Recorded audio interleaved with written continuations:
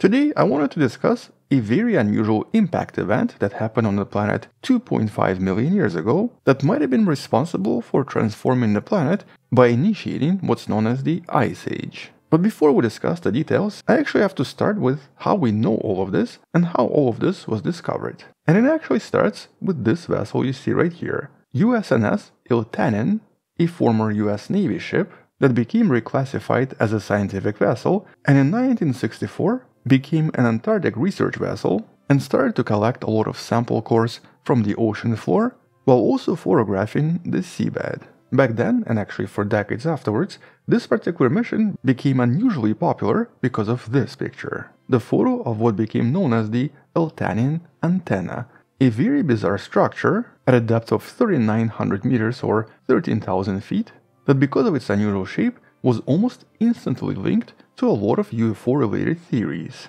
And strangely enough, it wasn't actually until 2003 that actual marine biologists saw this picture and were able to definitively identify what this was. And well, you see it right here. A type of a carnivorous sponge known as Chondrocladia concrescens with a much more common name, ping pong tree sponge. Something that was actually discovered all over the place, but something that's still very mysterious because of the depths where we usually find these deep sea organisms. But because this mission was also physically collecting samples from the seafloor as well, at some point, some of these sedimental samples became analyzed as well, and it turns out that an intriguing study came out announcing that they discovered an unusual iridium anomaly in one of the sea core samples known as E13-3.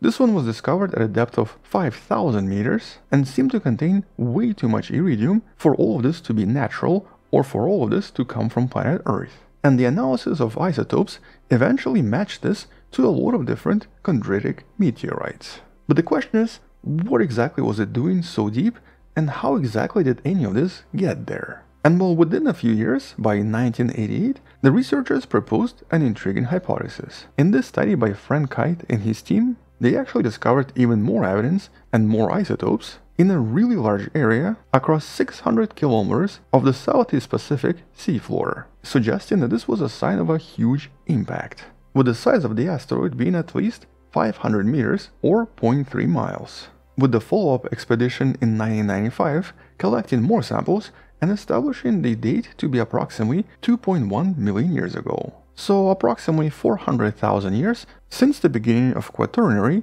or essentially since the beginning of ice ages. But around the same time, scientists studying various deposits in Antarctica and also scientists studying deposits in places like Chile in South America started to actually discover completely different signs from what seemed to be an ancient mega tsunami. A tsunami that seems to have traveled from the point you see right here and seems to have affected a lot of different regions around the same time. Here it seemed to be coming from waves up to 100 meter high, all coming from the same location somewhere southwest of South America. And more importantly, it suggested that the initial wave was probably several hundred meters in height possibly even up to 1 kilometer. Here we had signs from places like Antarctica, Chile, Australia, and New Zealand, with the evidence pointing at the same phenomenon a really large tsunami wave generated by something very powerful. But the dates here did not really add up. This particular tsunami seems to have happened a little bit earlier, and well, this led to another expedition, the one in 2001 that once again reanalyzed everything, discovering that all of this iridium was actually deposited 2.5 million years ago, plus minus 70,000 years. And this matched the tsunami, with further computer simulations discovering that it was most likely caused by the asteroid at least 1 kilometer in size, but possibly up to 4 kilometers in size, striking the planet at 40 kilometers per second, but most importantly, hitting very deep ocean right here and that's what makes this particular impact so unique. This is the only known asteroid impact in the deep ocean. It left no crater, but it left signs of impact all over the place. With the first signs discovered by Eltanin, or maybe Eltanin, I guess I keep mispronouncing it, but basically because of this, this is now known as the Eltanin impact. The most powerful recent impact, equivalent to approximately 100 billion to possibly even 10 trillion tons of TNT, which is by the way hundreds of times more than all of the nuclear bombs combined on the planet, exploding all at once and depositing fragments over a region 660 by 200 kilometers in size.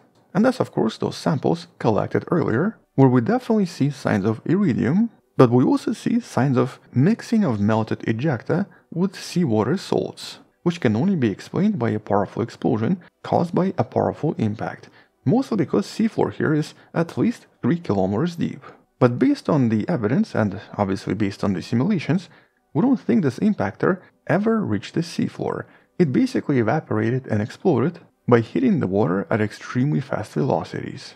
Which of course means that it also ejected an enormous amount of material into the atmosphere. Huge amounts of water vapor, but also sea salts, sulfur, and a lot of dust that came from the asteroid itself. With all of this stuff remaining in the atmosphere for at least two years, possibly much longer. And so this of course leads us to this main proposition. Today, a lot of scientists believe that this impactor was potentially the last straw that essentially initiated the Ice Age, more officially known as the Quaternary glaciation or Pleistocene glaciation. In essence, a series of different glaciation and interglaciation periods that shifts between the period of extended ice sheets, during which the sea levels usually drop, and enormous ice sheets form in the North Hemisphere, with Antarctica expanding in the Southern Hemisphere, and the interglacial period, when the overall climate is much warmer, the sea levels are much higher, with the whole planet transforming in a lot of different ways as well. For example, during the last such period, which was approximately 125,000 years ago, apparently various forests were able to reach all the way to north of Norway, where today we basically have almost nothing. And back then, the sea levels were at least 6 to 9 meters higher, and the average temperature was about 2 degrees Celsius higher as well. And so this unusual oscillation between glacial and interglacial periods has now been happening for 2.5 million years. But 2.6 million years ago, Earth was not actually doing this and looked a lot different as well. Or at least different in certain locations. Here it was at least 3 degrees warmer, and so the sea levels were 30 meters higher. And back then, Antarctica was much warmer as well, with the ice sheets barely present and usually only appearing in the winter. And though the Earth was slowly cooling down, it did not go through these unusual glaciation periods. And so something must have happened 2.5 million years ago to transform everything and to trigger these unusual events. Now the actual answer is potentially super complex and very likely involves plate tectonics, changes in ocean currents, and possibly Milankovitch cycles, but there must have been at least one main trigger, and just like with the extinction of dinosaurs, that trigger was potentially an asteroid. And today we have a lot of evidence that it was indeed this Iltanian asteroid that only left very minor signs in the depths of the Pacific Ocean and on the shores of Antarctica, South America, Australia, and New Zealand.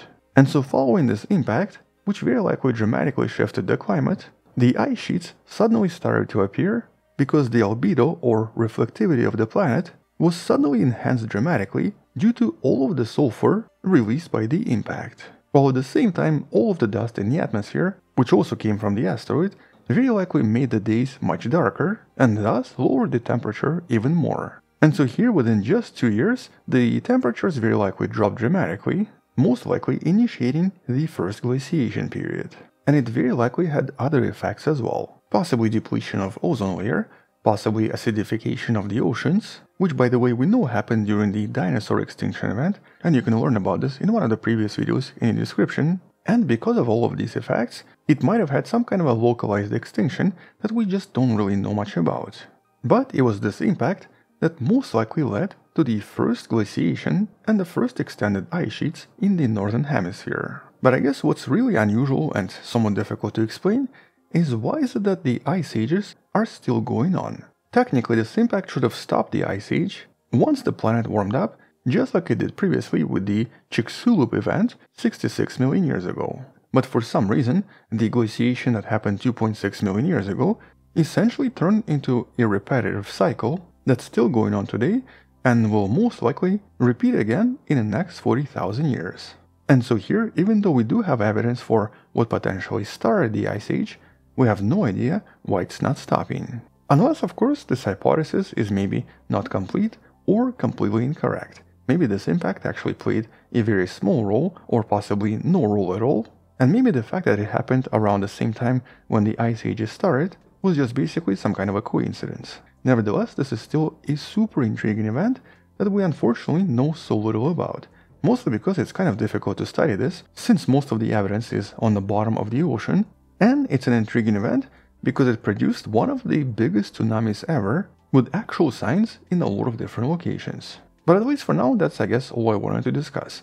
Once there are new studies or new discoveries, we'll come back and talk more about this in some of the future videos. Until then, check out some of the studies and some of the other links in the description below. Thank you for watching, subscribe, share this with someone who loves learning about space and sciences, come back tomorrow to learn something else, support this channel on Patreon by joining channel membership or by buying the Wonderful Person t-shirt you can find in the description. Stay wonderful, I'll see you tomorrow, and as always, bye bye.